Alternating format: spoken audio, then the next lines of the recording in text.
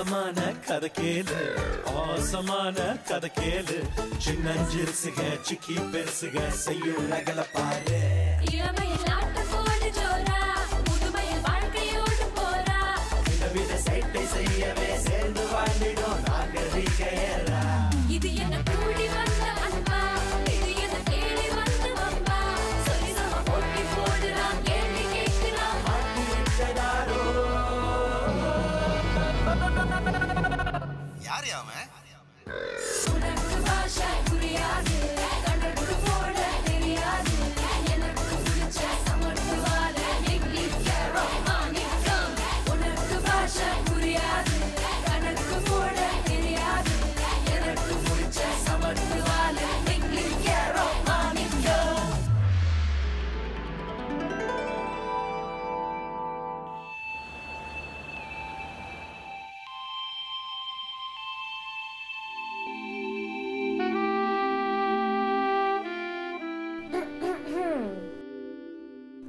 வந்து நிக்கிறது கூட தெரியலையா? இல்ல தெரியாத மாதிரி ட்ராமா பண்றியா?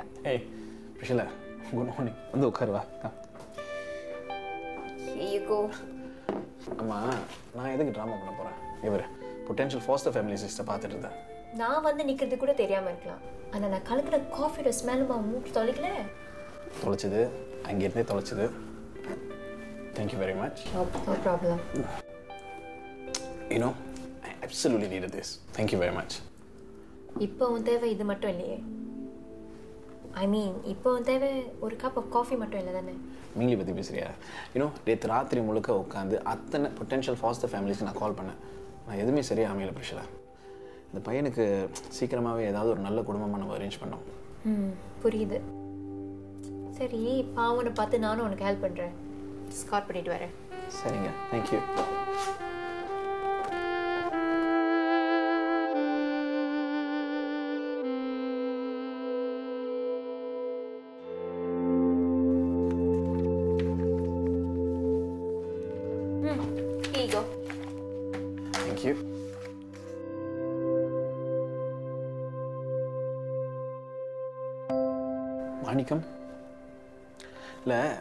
ரெக்குவயர்மெண்ட் க்ரைட்டீரியெல்லாம் சரியாக தான் இருக்குது ஆனால் மிங்லி சீன பையன் தமிழ் குடும்பத்தில் எப்படி? யூ சி மிஸ்டர் மாணிக்கத்தோட ஒய்ஃப் சோனியா அவங்களோட அம்மா ஒரு சீன குடும்பத்தில் பிறந்தவங்க. அவங்க அம்மா அப்பா அவங்கள பார்த்துக்க முடியாதனால ஒரு தமிழ் குடும்பத்தில் தத்து கொடுத்துட்டாங்க. அவங்களும் ஒரு தமிழர் தான் கல்யாணம் பண்ணாங்க. ஸோ அப்படி பார்க்க போனா சோனியா பாதி சீனர் தானே ஃபாஸ்டரிங் பேரண்ட்ஸில் ஒரு பேரண்ட் அந்த ஃபாஸ்டர் சைல்டோட இனத்தில் இருந்தால் இந்த ரிக்குவயர்மெண்ட் கரெக்டாக மீட் பண்ணலான்னு நான் ராஜனுக்கு சொல்லி தான் புரியணும்னு இல்லை. அதெல்லாம் சரிதான். எனக்கு புரியுது. ஆனால் இருந்தாலும் மிஸ்டர் மிஸ்ஸஸ் மாணிக்கம் ஏற்கனவே ஒரு பிள்ளைய ஃபாஸ்டர் பண்ணிட்டு இருக்காங்களே. யூ சி எல்லாத்துக்கும் எனக்கு கன்சஸ் தெரியாது. நான் கால் பண்ணி கேட்குறேன் ப்ளீஸ் டூ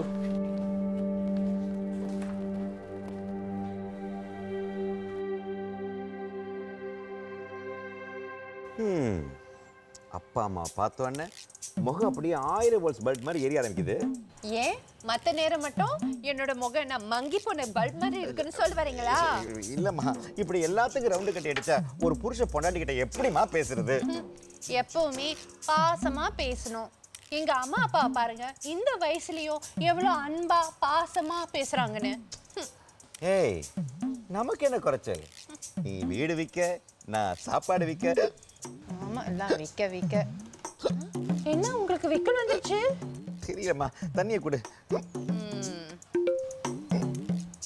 விக்கல் வரல ஒரு பெரிய பிரச்சனையா? ஒரு நிமிஷம். நான் இங்க இருக்கும்போது உங்களை பத்தி யாரு நினைக்கிறா? உண்மையா சொல்லுங்க. யாரும் நினைக்கல? அந்த செந்தில நினைச்சிருப்பான் ரெண்டு நாள் சம்பளம் பாக்கி அவன் தான் திட்டுவான். நிஜமா தான் சொல்றீங்களா? ஐயோ அவனை கூப்பிட்டு வாக்கு மூலமா பார்க்க முடியும். தண்ணியை கூப்பிட்டு தண்ணி. ஃபோன் அடிக்குது. பிரசில் எதை அடிக்கிறாங்க.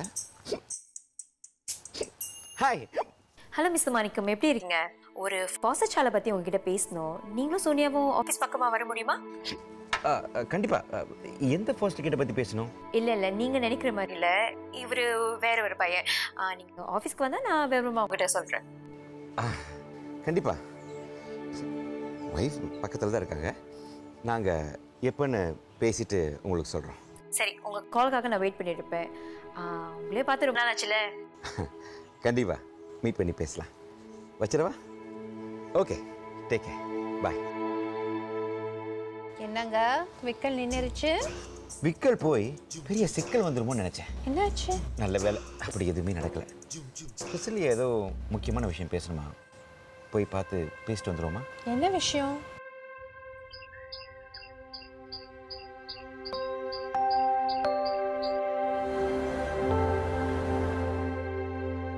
ஜோசு சொல்லுங்க பாஸ் எல்லாரும் சாப்பிட்டுட்டு இங்க வந்து உட்காந்துட்டாங்க இன்னும் கொஞ்ச நேரத்துல பாட்டியும் வந்துருவாங்க. பாட்டி வந்தோடனே ஸ்ட்ரைட் டு கிச்சன் அப்பா ஏதோ ஒரு முக்கியமான விஷயம் சொல்ல வந்தீங்களே. மறந்துட்டீங்களா?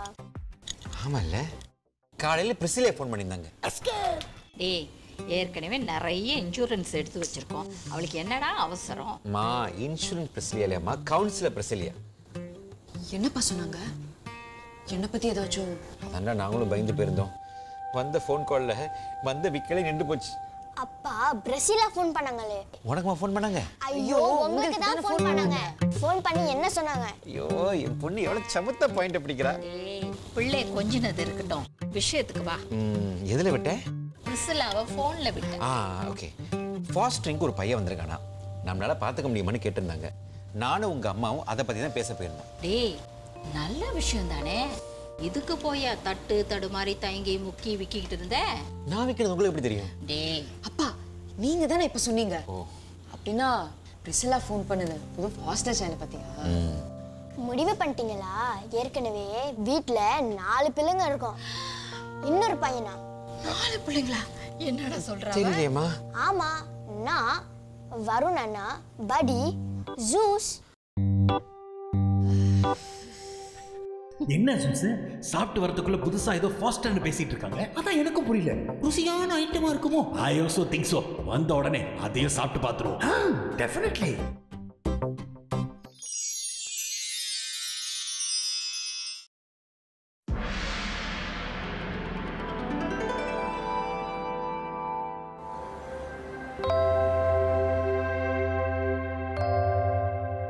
என்னப்பா இப்ப என்னத்த மறந்தீங்க? டேய் என்ன முடிவே பண்ணிட்டீங்களா நான் என்ன மறந்து கேசுங்க ஆளாளு கேள்வி கேட்குறீங்க கேலி பண்ணாம கேள்வி கேட்கிறோமேனு சந்தோஷப்படுங்க? ஆமாம் என்ன ஃபோட்டோ இது கேர்ள் ஃப்ரெண்டா டேய் எல்லாரும் ஃபோட்டோ சோஷியல் மீடியாவில் போடுவாங்க. நீ என்னடா ஓல்ட் ஸ்கூல் மாதிரி ஃபோட்டோ ஃப்ரேம் பண்ணி பார்த்துட்டு இருக்க? என்ன ஃபோட்டோ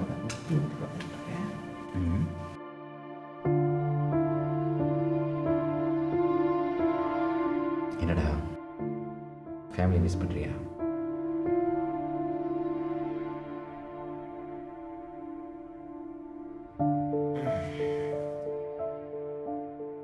அப்போ தான் சொல்லியிருக்கல நீ எப்போ வேணாலும் உங்களுக்கு ஃபோன் பண்ணி பேசலாம் அவங்கள போய் பார்க்கலான்னு.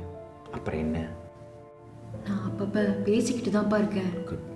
ஆனா அவங்க இங்க வரதா ரொம்ப தயங்குறாங்க. ஏன்? எப்படி பார்த்தாலும் அது அவங்க ஆழ் மனசுக்கு வருத்தத்தை தர விஷயம் தானே இதில் என்னடா வருத்தம் இருக்கு? இங்கே பாரு. அப்பா அம்மா கல்யாணம் பண்ண புதுசில் குழந்தைங்க இல்லை. அதனால தான் ஃபாஸ்டரிங்கில் ரிஜிஸ்டர் பண்ணோம். One of the best decisions that we took நீ தான் இன்ஃபேக்ட் நீ வந்த அதிர்ஷ்டம் தாண்டா அடுத்த வருஷமே ஸ்ருதி பிறந்தா. நீங்க நினைச்சிருந்தா என்னை திருப்பி அனுப்பியிருக்கலாமேப்பா டேய் என்னடா பேசுற? எனக்கு அப்பான்ற பெருமையை கொடுத்த முதல் உறவுடா நீ. என் மூத்த பிள்ளைடா. இன்ஃபேக்ட் உனக்கு தெரியுமா? பிரசிலியா ஃபோன் பண்ணும்போது நான் பயந்து போயிட்டேன். உன்னை திருப்பி கூப்பிட்டுருவாங்களோன்னு. நானும் அப்படிதான்ப்பா நினைச்சேன். ஆனா மறுபடியும் இப்போ இன்னொரு ஃபாஸ்ட் சைல்டை வீட்டுக்கு கூட்டிட்டு வரீங்களே. ஏன்பா? அதான் நாங்க ரெண்டு பேர் இருக்கோமே. ரெண்டு பேர் இல்லை. நோடு பேர். படி ஜூஸா இங்கே பாரு. எங்களுக்கு ஒரு தேவை இருந்த போது நீ கிடைச்சல இப்போ அந்த பையனுக்கு ஒரு தேவை இருக்கு. அவனுக்கு உதவி செய்கிற சுச்சுவேஷனில் நாங்கள் இருக்கோம். எத்தனை நாள் எத்தனை வருஷம்லாம் தெரியல. ஆனால் இந்த அரேஞ்ச் பண்ணால அவனுக்கு ஒரு நல்ல வாழ்க்கை கிடைக்குதுன்னா. Why not? யூஆர் ரியலி கிரேட்பா அடப்பட. ரியலிப்பா நீங்கள் பண்ணுற சேட்டையெல்லாம் வச்சு உங்களோட நல்ல மனசை நான் ஓவர்லுக் பண்ணிட்டேன். சாரிப்பா அதுக்காக இந்த பாக்ஸை போட்டு சுத்துறத முதல்ல நிறுத்தினேன்.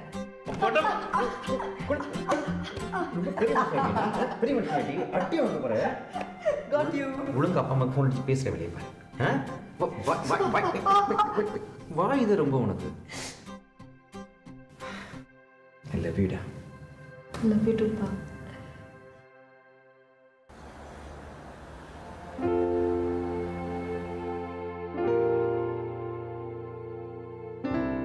ஏ சோனியா? இந்த புது பையனை வளர்க்குறத பற்றி உன் அபிப்பிராயம் என்ன? எல்லாமே கொஞ்சம் அவசரமா நடக்குதுன்னு தோணுது அத்தை. அப்போ மாணிக்கம் இதை பற்றி உங்ககிட்ட டிஸ்கஸ் பண்ணலையா? என்கிட்ட டிஸ்கஸ் பண்ணாம இவ்வளோ பெரிய டிசிஷன் எடுப்பார் அத்தை ஆனா என்ன சீன பையன் அவன் நம்மளை புரிஞ்சுக்கிறதுக்கும் நாம அவனை புரிஞ்சுக்கிறதுக்கும் கொஞ்சம் டைம் எடுக்கும். ம். மாமியால மருமகளை இவ்வளவு அந்யோன்யமா இருக்குது ரொம்பவே அழகா இருக்கு. அம்மா அப்பா என்ன இந்த பக்கம் திடீர்னு? வாங்க வாங்க. உட்காருங்க. கடை யார் பார்த்துக்குவா கடை கிடக்குது. நீ அன்னைக்கு வந்துட்டு போனதுல இருந்து ஏன்னு தெரியல? உன் ஞாபகமாவே இருக்கு. அதான் ஒரு எட்டு பார்த்துட்டு போலான்னு கிளம்பி வந்துட்டோம். அதெல்லாம் சரிதான். உடனே கிளம்புற எண்ணம் எதுவும் இல்லையே. இருந்து சாப்பிட்டுட்டு தான் போகணும். சாப்பிட்டுட்டா போச்சு. அது சரி. வரும்போது ரொம்ப மும்முரமா பேசிக்கிட்டு இருந்தீங்களே. எதுவும் விசேஷமோ? விசேஷம்தான். நம்ம குடும்பத்துக்கு புதுசா உறவு ஒண்ணு வரப்போகுது. மணிமேகலை இத பத்தி நீ என்கிட்ட சொல்லவே இல்லையே. மாலினிக்கும் இப்படி நடக்காதான்னு நான் தினமும் கடவுளை வேண்டிக்கிட்டு இருக்கேன். அம்மா அது வந்து நீங்க நினைக்கிற மாதிரி இல்லை. அவரும் நானும் சேர்ந்து இன்னொரு ஃபாஸ்டர் சைல்டை வளர்க்கலான்னு இருக்கோம். மறுபடியுமா ஏம்மா இத்தனை வருஷம் சேர்ந்து இன்னொரு பாஸ்டர் சைல்டா ஃபாஸ்டரிங் டிபார்ட்மெண்ட்லேருந்து கால் பண்ணாங்க. பத்து வயசில் ஒரு சீன பையன் இருக்கான். யூஸ்வலாக சீன பிள்ளைங்களை வந்து சீன குடும்பத்துக்கு தான் ஃபாஸ்டர் பண்ண கேட்பாங்க. ஆனால் இப்போ இருக்கிற சூழ்நிலையில் எந்த சீன குடும்பமும் கிடைக்கல. என் அம்மா சீனவங்க? தமிழ் குடும்பத்தில் வளர்ந்தவங்க. நம்ம ஃபேமிலியில் சைனீஸ் பேக்ரவுண்ட் கொஞ்சம் ஸ்ட்ராங்காக இருக்கிறதுனால தான் என்கிட்ட வந்து கேட்டாங்க. நானும் அவரும் சம்மதம் சொல்லிட்டோம். நல்ல விஷயம் தானே? என்ன? எனக்கு சீன பாஷை புரியும். உனக்கு ஒன்று ரெண்டு வார்த்தை தான் தெரியும். அட எனக்கு அது கூட தெரியாதே. வர பேரங்கிட்ட கத்துக்க வேண்டியதுதான். என்ன சொல்றீங்க? அது சரி. ஸ்ருதி கிட்டேயும் வரணுங்கிட்டையும் சம்மதம் கேட்டீங்களா? ஏன்னா குழந்தைங்க மனசு எப்போ எப்படி ரியாக்ட் பண்ணுவாங்கன்னு ஒன்றும் சொல்ல முடியாது. நாம் சொல்லிட்டோம்ப்பா அவங்களுக்கும் ஓகே தான்.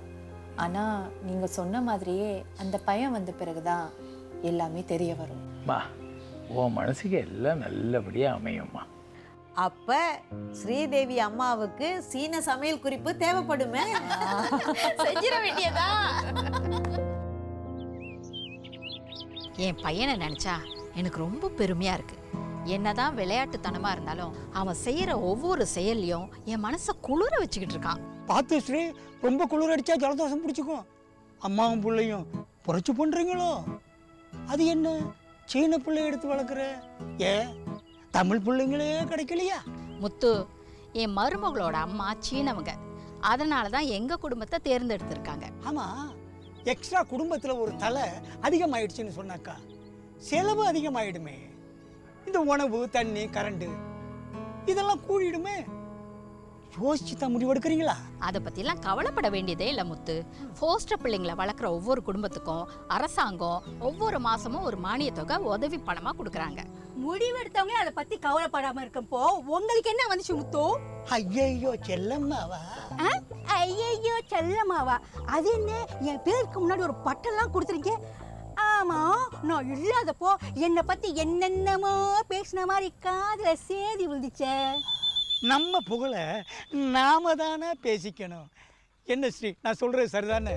இன்னைக்கு நம்ம ஏரியாவிலேயே தலைப்பு செய்தி ஸ்ரீ தான் பிரபல உணவக உரிமையாளர் மாணிக்கம் ஒரு சீன பையனை எடுத்து வளர்க்கிறார். கொஞ்சம் அடக்கி வாசி முத்து சொல்லிட்டேன் உன் ஊர்க்குருவி புத்தியை இந்த விஷயத்துல காட்டாத. இந்த செய்தியை ஊர் புறத்தை அம்பட்ட அடிச்சு என் வீட்டு வாசல டோக்கன் போட வச்சிடாத சொல்லிட்டேன் அப்படிலாம் நம்ம முத்து ஒன்றும் பண்ண மாட்டாரு. அப்படி பண்ணா என்ன நடக்கும்னு தெரியும்ல? உளவாய மூடலாம். ஆனா இந்த ஊர் வாய மூட முடியுமா? உன் வாயை மூணு போதும். வர்றது சீன பையன் வேற. அவன்கிட்ட வம்பு தும்பு பண்ணுன அப்புறம் டிரேகன் வந்து கண்ணை கடிச்சிடும். வழக்கமா இந்த சாமி வந்து தான் கண்ணை குத்துன்னு சொல்லுவாங்க. சொல்றத சொல்லிட்டேன் அப்புறம் ஓ இஷ்டம். எல்லாரும் சேர்ந்து ஒரு முடிவோட தான் இருக்கிறீங்கன்னு தெரியுது. என்ன ஆள விடுங்க சாமி. அப்படியே அவரை விரட்டி போய் பாஞ்சு அட்டாக் பண்ணுவோமா? பரி நான் நினைச்சேன் நீ அப்படியே சொல்லிட்ட. நீ ஆரம்பிக்கிறியா? இல்ல நான் போட்டுமா எங்கத்த போறது? அதான் நம்மளை கட்டி போட்டு வச்சிருக்காங்களே. நாளைக்கு பாத்துக்குவோம். ஆல் மேன் கிரேட் எஸ்கேப் எனக்கு பசிக்குது. சாப்பிட என்ன இருக்கு?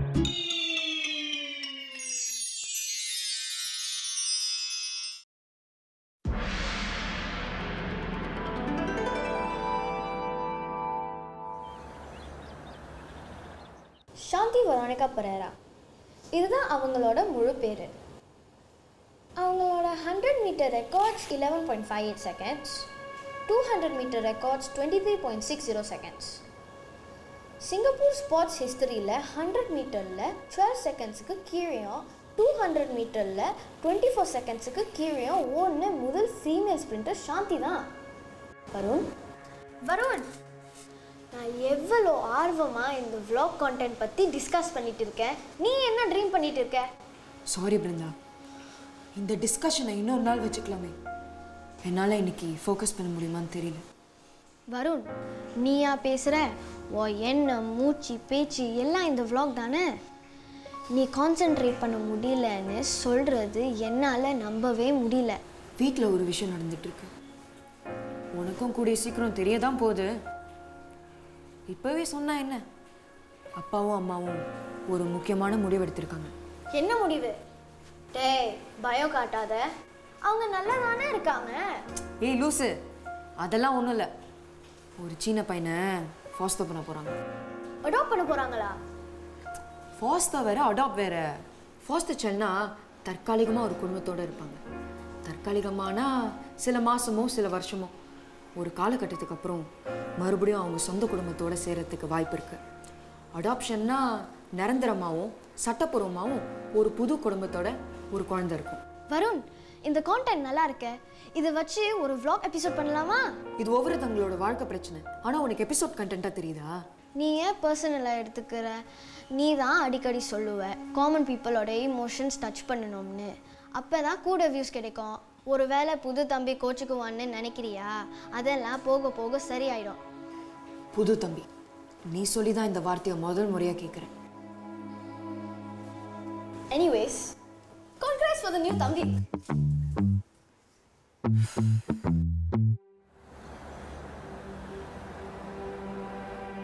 ஸ்ருதி இன்னும் எவ்வளோ நேரம் தான் இப்படி மூதியாக உட்காந்து இருக்க போற? ஆமாம் நான் கேம் கன்சோல் அப்படியே வச்சுட்டு வந்துட்டேன். கேம் கண்டினியூ பண்ணணும். இப்போ எதுக்கு இன்னொரு பையன் இந்த வீட்டுக்கு வரணும்?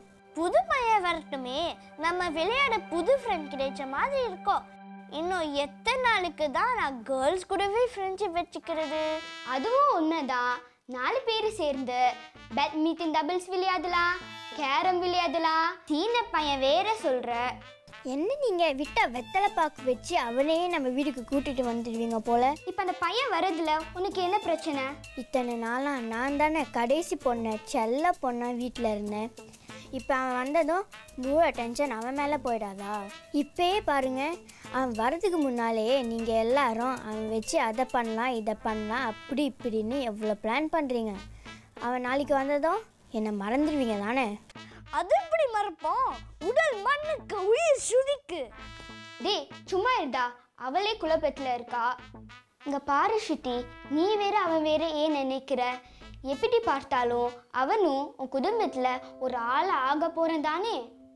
அவன் வரதே எனக்கு பக்கு பக்குன்னு இருக்குது. நீ வேற என் குடும்பத்தில் ஒரு ஆள் அது இதுன்னு இன்னும் பில்டப் பண்ணுற ஏன் பஷீரா நீ சும்மா இரு. புது பையன் வரத்துல நமக்கு பெரிய அட்வான்டேஜ் இருக்கு. என்னன்னு சொல்லுங்க பாப்போம். நீ ஏன் சொல்லி தொல நம்மளோட மிகப்பெரிய enemy யாரு? மிங்லி இங்கிலீஷ்ல பேசினா தானே மிங்லி பதில் பேசாம கோபப்படுத்துவா? வர பையன் நம்ம ஃப்ரெண்ட் ஆயிட்டா நம்ம அவனை விட்டு மிங்லி கிட்ட மேண்டர்லயே வம்பு பண்ணலாம். முத தடவை உருப்படியான ஒரு விஷயம் சொல்லியிருக்க பிரவீன். புது பையன் வந்ததும் எல்லாரும் அவனை ஃப்ரெண்ட் பிடிக்கிறோம். மிங்லியை ஓட ஓட விரட்டுறோம். அப்படி இப்படின்னு மறுபடியும் மிங்லி டாபிக் வந்துடுச்சு. அவனுக்கும் உனக்கும் என்னவோ லிங்க் இருக்கு சுத்தி அவன் பற்றி பேசாத. பேரை கேட்டாலே கோவ கோவமாக வருது.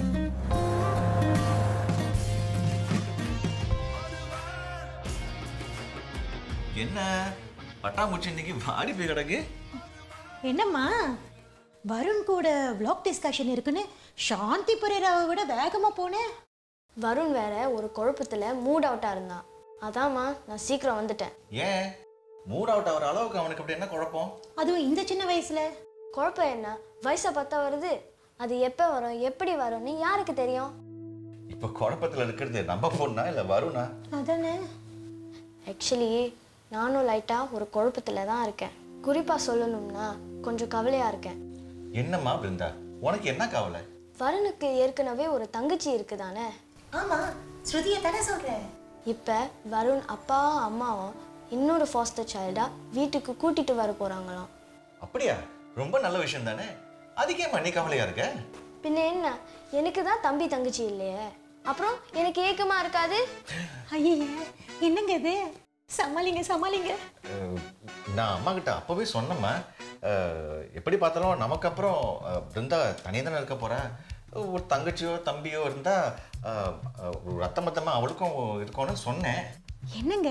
என்ன மாட்டி விட்டுட்டீங்க? இல்லைம்மா கடவுள் நம்மளுக்கு ஒன்னே ஒன்று கண்ணே கண்ணுன்னு ஒன்று மட்டும்தான் கொடுத்துருக்காரு. இப்போ திடீர்னு தம்பி தங்கச்சின்னா நாங்கள் எங்கே போகிறது இங்கே எனக்கு யாருமே இல்லைன்னு தானே அங்கே போய் அவங்களோட டைம் ஸ்பெண்ட் பண்ணுறேன் இதெல்லாம் உங்களுக்கு எங்கே புரிய போகுது?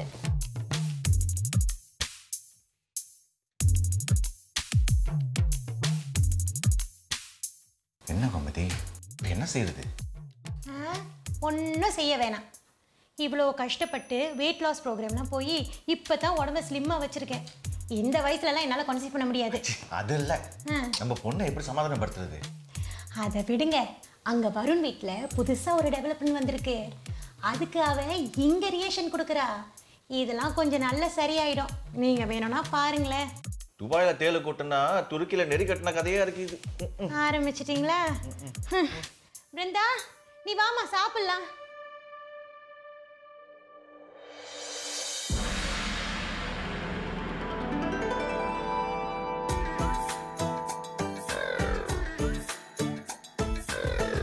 பாசமான கதை கேளு. ஆசமான கதை கேளு. சின்னஞ்சிறுசுக சிக்கி பெருசுக செய்யும் ரகல பாரு. இளமையில் ஆட்டம் போடு ஜோரா. முதுமையில் வாழ்க்கையோடு போறா விதவித சைட்டை செய்யவே சேர்ந்து